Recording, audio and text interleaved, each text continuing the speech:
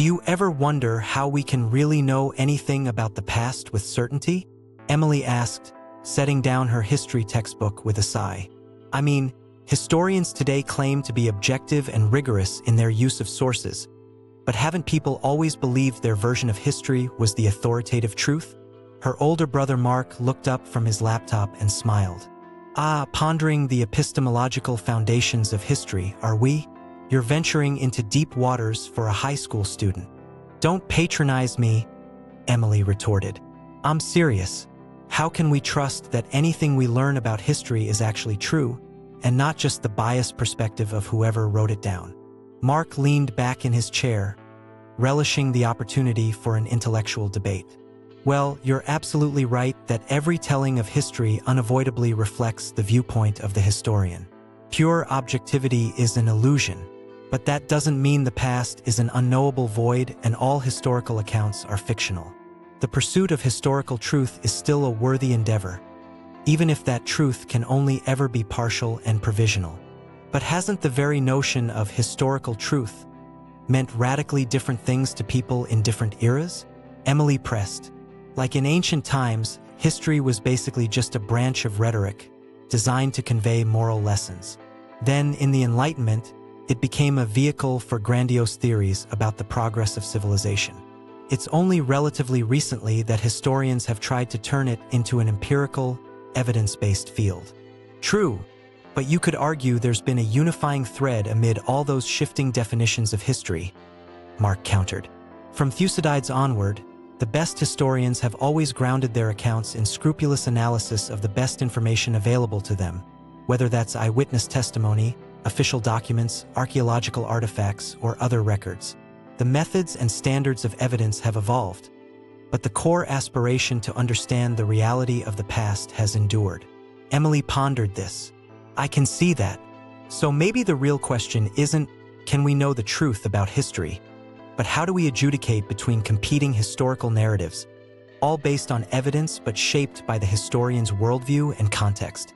Like, a feminist scholar and a conservative Christian would probably interpret the same set of medieval records in very different ways. Now you're getting to the heart of the matter, Mark said approvingly. In my view, we'll never have one true history that commands universal assent. Historical knowledge advances through ongoing arguments between different interpretations. The job of the historian is to make a case for their particular interpretation as compellingly as possible, based on logic and evidence, while being transparent about their own perspective and values. Then the scholarly community and the broader public can judge which accounts seem most credible. Emily nodded slowly. So studying history is really an endless conversation, not a straight path to a single, unassailable set of facts. The pursuit of truth matters, but there will always be multiple valid ways of understanding the past. Exactly, and that's what makes it so endlessly fascinating. Hey, have you ever thought about majoring in history in college? I think you'd be a natural at it. Emily laughed. Let's not get ahead of ourselves. I still have to survive my AP Euro class first. But thanks for the vote of confidence. And the mini history of historiography lesson. Anytime, Mark said warmly. I'm always happy to geek out about this stuff with you. Now, I should probably get back to my own work. This dissertation on the French Revolution won't write itself. As Mark turned back to his laptop, Emily flipped open her textbook again with renewed energy. Her conversation with her brother had crystallized something that had been bothering her for a while. The sense that history was more multifaceted and contentious than her curriculum sometimes let on. Armed with a more sophisticated understanding of how historical knowledge is constructed, she felt better equipped to critically engage with the narratives she encountered in school and in the wider world. History, she realized, would always be as much about the present as the past. Today's social and political realities shaped the questions scholars asked about earlier eras and the stories they wove from the archives. Some used history to reinforce the status quo, while others wielded it as a tool of dissent and advocacy for marginalized groups. The myth of the detached, omniscient historian flow aiding above the fray, simply reporting how it really was, had been punctured long ago. Every work of history was an intervention in the struggles and debates of its time. Yet this didn't mean Emily had to resign herself to a despairing relativism that treated all historical claims as equally groundless. As her brother had pointed out, some methods of investigating and interpreting the past were more credible than others.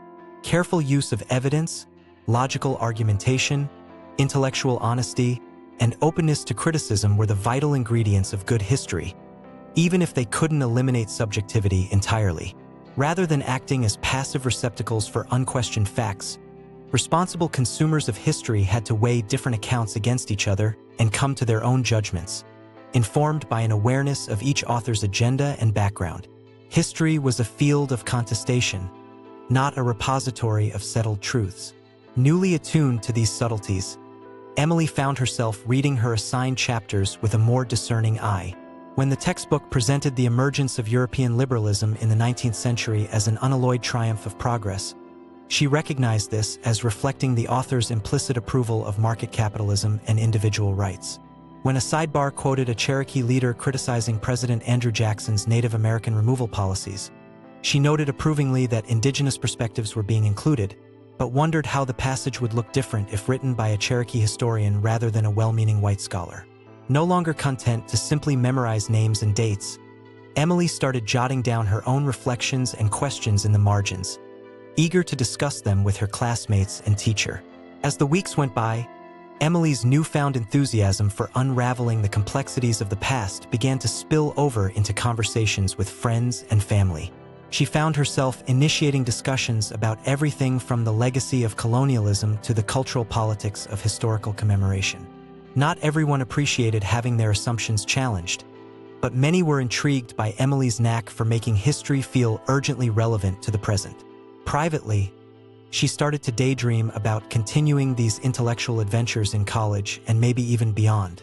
Could the inquisitive high schooler, who once doubted the very possibility of historical knowledge, wind up producing it herself someday?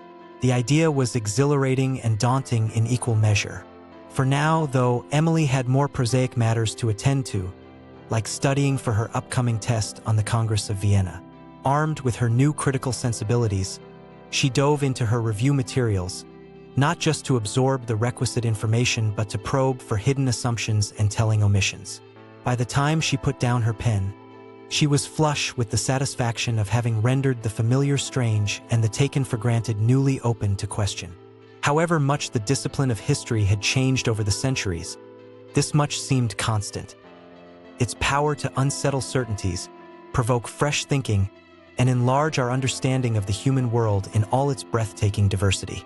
Emily knew she still had a lot to learn, but she already grasped the most important lesson that history is never finished, but always in motion, forever being remade through the passions and preoccupations of the present. Contributing to that unending quest for a more truthful reckoning with the past struck her as one of the worthiest callings imaginable. Her journey was just beginning,